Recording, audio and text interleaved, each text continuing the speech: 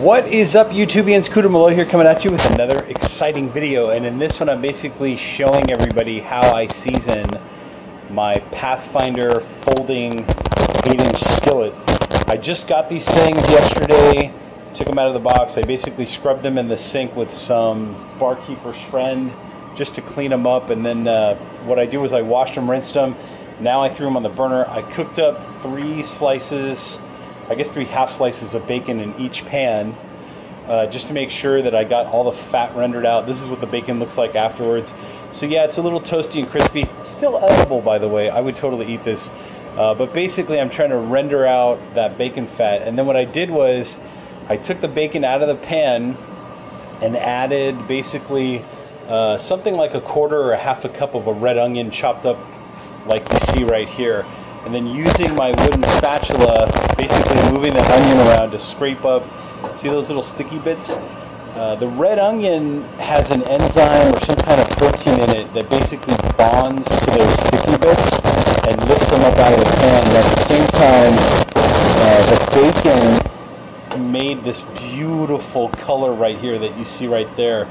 So this really, to me, is the best way to season either a stainless steel pan that you're going to use for backpacking, camping, whatever, uh, and also to season a carbon steel pan if you had one of those.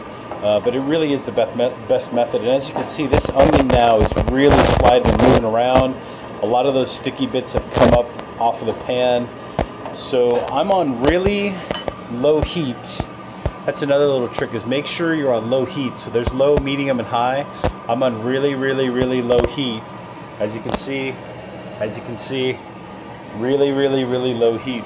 So what I'm gonna do is I'm gonna end this video probably right here uh, but I just wanted to show you that it's the whole step in the process is wash your pan clean it dry it out with a towel put it on the stove get some bacon in your pan. You know the, these pans are about the size of like maybe two two full slices of bacon that I cut in half. And then cook that, render that down till it gets to this crispy stage right here.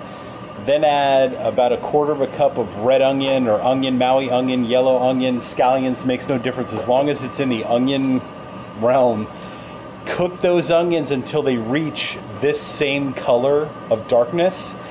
That should help to really season your pan. I did not have to add any extra oil. I didn't have to have the smoke fest I know some people do that. I did not do the oven thing where you you stick it in your oven at 500 degrees for yada. Don't have to do any of that. This, honestly, for me, is the best way to season the pan to make it as non-stick. I mean, look at that.